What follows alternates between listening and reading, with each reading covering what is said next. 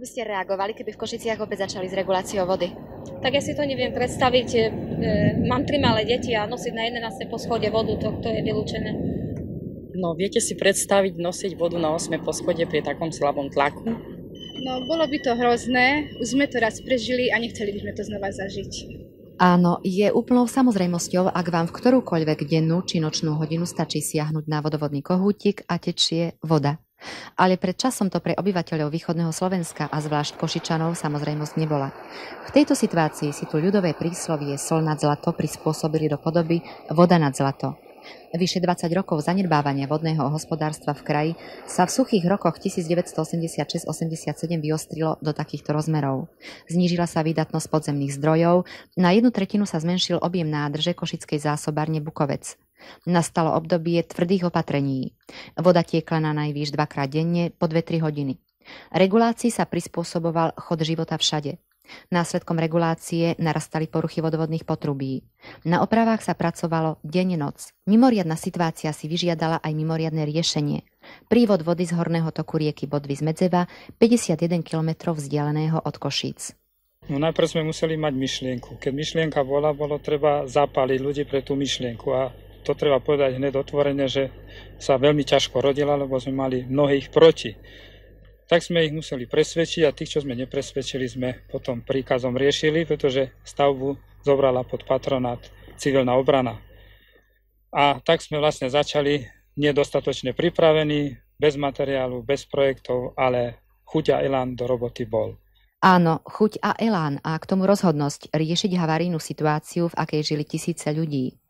Tu veru by bolo hazardérstvo trieštiť sily na zbytočné polemiky. Úloha dňa bola okamžite konať. Čo si myslíte, súdruh náčelník, že bolo v danej situácii rozhodujúce? Posadať materiál, dať konkrétnu úlohu ľuďom, vybrať správne dodavateľské organizácie a hlavne zapaliť ich pre vec stavba, ktorá by bola trvala tradičným spôsobom 5 rokov, bola vlastne ukončená za necelých 13 mesiacov. Prvé litre vody išli už začiatkom decembra minulého roku. To znamená 5 mesiacov od prvého výkopu dostalo vyprahnuté mesto vodu. Za tých niekoľko týždňov tu stihli vybudovať 4 odberné miesta, úpravňu vody so 16 filtrami, budovu flokulácie a uložili 51 km potrubia od Bodvy až po Košice. Boli dni, keď na stavbe pracovalo nepretržite aj 600 ľudí. Spoločnou prácou a spoločným cieľom žili všetci zainteresovaní slovenských i českých organizácií.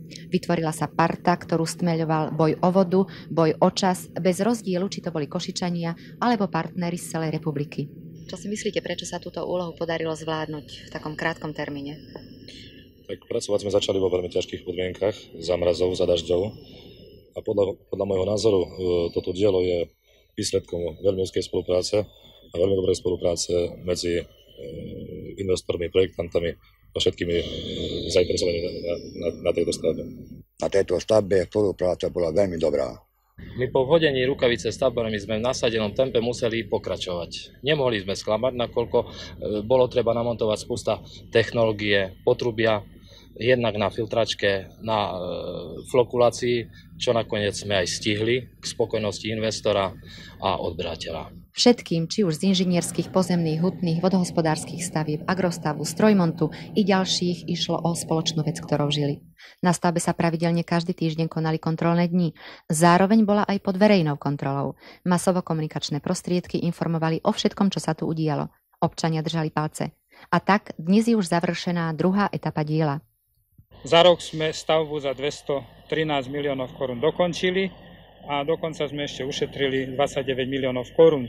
Naviac, mimo tejto stavby sme realizovali ďalšie vodné zdroje a celkové sme v kraji priviedli za rok 831 litrov vody za sekundu a len pre samotné mesto Košice vyše 500 litrov. Za všetko hovorí spokojnosť tisícov obyvateľov Košíc i celého východného Slovenska. Napokon citát z listu Eugena Sárasa. Buď vám vďaka za odstraňovanie tisícov prekážok, za tvrdošíne prebojovanie zámerov, za mnohokrát nerovný boj. Vďaka za vodu.